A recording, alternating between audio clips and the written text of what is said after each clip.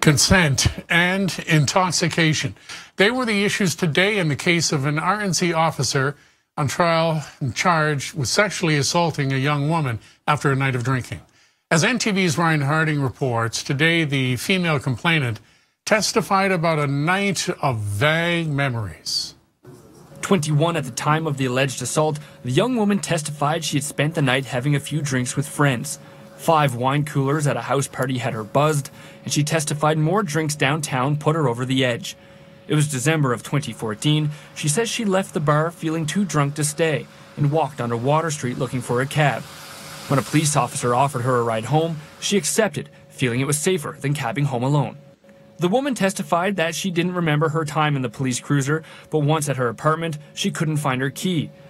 That's when she says the RNC officer helped her open her unlocked window. She climbed in, then let the cop into her home. From there, her memory fades in and out.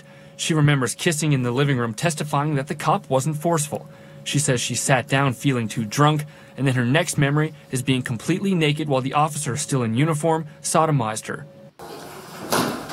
Although she says she can't identify the man in her apartment that night, the RNC did an internal investigation and found that Constable Carl Douglas Snelgrove's car was outside her home the night in question, and his DNA was found on her couch. He was suspended without pay. Today, the woman's friends couldn't testify with certainty about her level of intoxication. The friend who spent the most time with her at the club testified that she didn't see the woman buy a single drink downtown. Also revealed today, the alleged victim didn't report the sexual assault for a month, and when she did, it was to a female officer with whom she was getting a ride home after a night of drinking. The defense are going to take Friday and the weekend to decide if they want to call their client, Constable Snelgrove, to the stand.